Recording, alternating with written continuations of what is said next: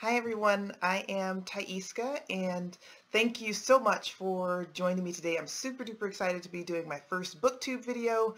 I will be mainly focusing on, well today I'll be focusing on children's picture books because I have a four-year-old and two-year-old sons and we go to the library every couple of weeks. We've got a library um, probably about five minutes or so from their daycare. They're building one on the main street in our neighborhood and they just built a new one in the neighboring town. So we are inundated with libraries.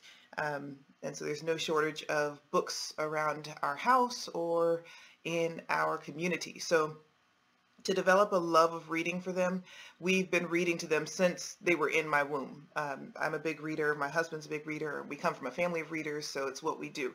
And having two, two um, brown boys, two black boys, whatever you want to call them, two African American boys, Nigerian American, we're Nigerian. Um, it's been very important to me to find picture books with positive black male protagonists. And so when I go to the library with them, that's what I'm looking for. When they go to the library, they're looking for characters that they recognize, like we generally come back with a Ninja Turtle book or um, Curious George or something else that they recognize from the little bit of TV that they get to watch. Um, or Pout Pout Fish, something that they read at school. So I have, I'm going to show you the, the books that we got from our latest haul and then talk about some of the ones that were my favorites. So we've got, we got a bunch of them.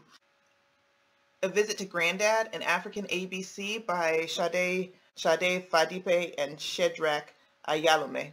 Hopefully I pronounced that right.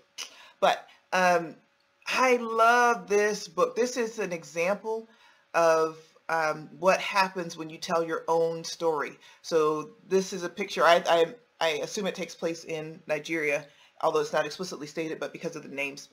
Um, and I just, I love the illustrations. I love the story. I love that they're telling a, you know, a different perspective of an African country that's not impoverished or um, negative in any way, or that, that, that doesn't come from a, um, yeah, never mind. Anyway, I like this book.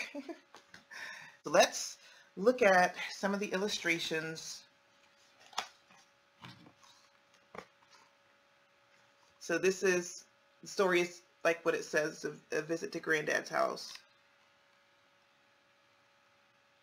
I'm really struggling with getting this camera.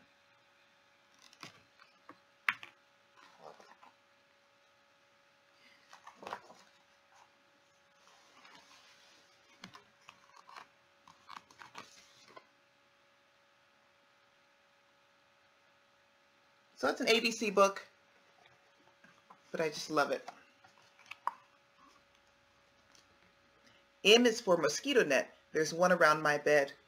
N is for night with lots of stars above my head.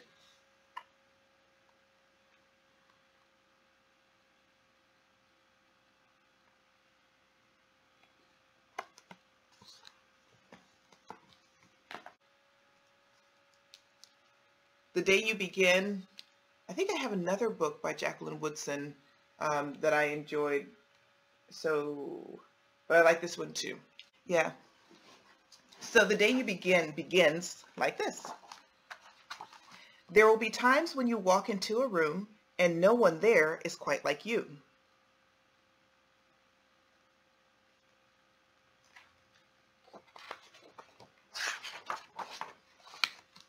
Maybe it will be your skin, your clothes, or the curl of your hair.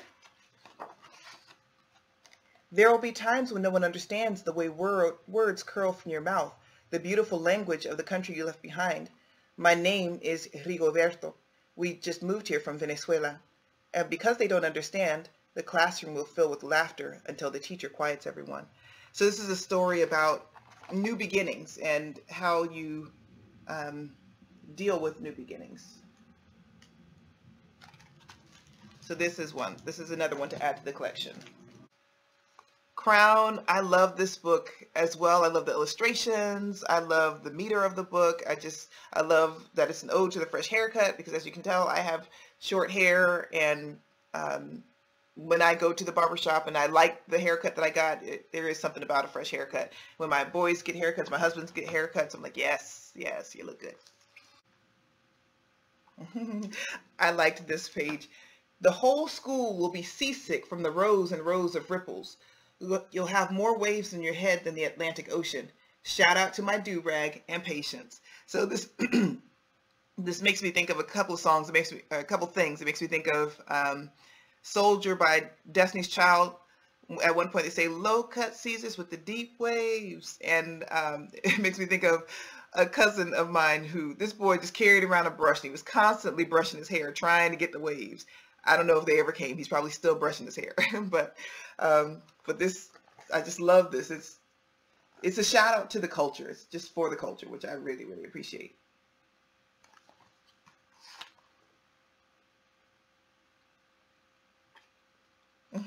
this one, the cute girl in the class across the way won't be able to keep her pretty eyes off of you.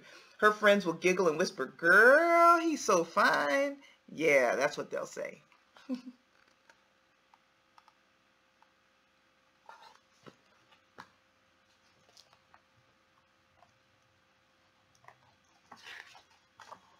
and then there's a, a big double page spread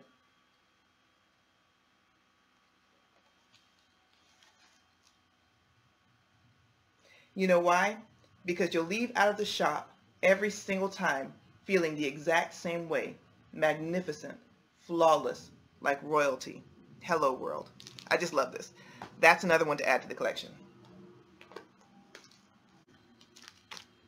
Octopus Stew. I love this by Eric Velasquez. I think that we've actually have we have another book um, that we own that's by Eric Velasquez, and I think I'm gonna go get it. But I I love this. It's got great illustrations. The story was really entertaining. And it's got Spanish in it as well. So it's a mix of English and Spanish. And um, I studied Spanish and my I we're teaching our boys Spanish. They have a they get one hour or half an hour of, of Spanish a week at their school. So this was a great addition. And this is probably one that I would purchase for our collection. Then Grandma came to sit with me while I did my homework. All of a sudden, strange noises started to come from the kitchen. Blimp, blump, brrr, blimp, blump, brrr. ¿Qué será eso? What could that be? Grandma asked. Ramsey, quédate aquí. Voy a ver. Stay here. So there's an example of how it's going back and forth between English and Spanish. And these illustrations are just so on point. I love this book. And then there's, um, there are a couple of of big spreads. I will find them.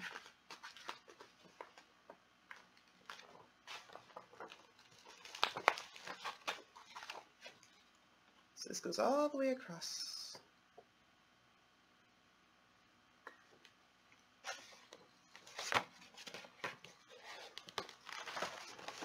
That wasn't very elegant, but you get the picture. So this is another one for the collection. I Can Be Anything, Don't Tell Me I Can't by Diane Dillon.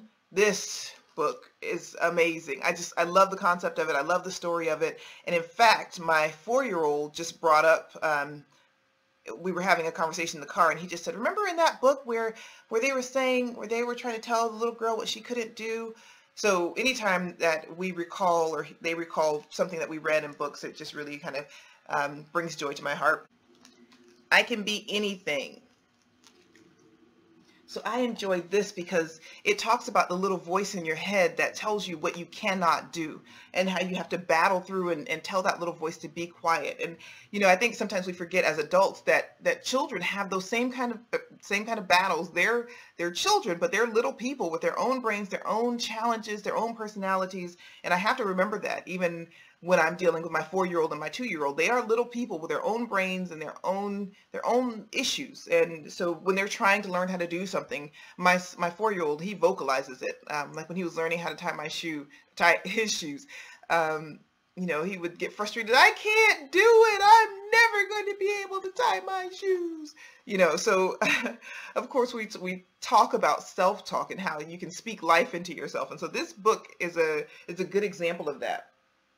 So in this, um, these pages, I can be anything I want to be. Zoe stretched her arms and spun around. I'm a bird. I can fly way up high, floating on the wind. What if you fall? said the little voice. I won't fall. Birds have wings. If my wings get tired, I can fly in a rocket ship to a faraway planet. I'll meet planet people and have a tea party before I come home. What if you can't come home? said the voice. So it's just this conversation between this little girl and the voice in her head. This is another one for the collection. So hopefully um, you enjoyed my first library haul and um, got a good taste of the books that I think are good for the collection. Um, so let me know what you think. Let me know, um, yeah, just give me some feedback on the videos. My very first booktube, I'm a booktube newbie and just excited to share my love of books and the um, love of books that I am developing with my sons. So I will talk to you later. Bye.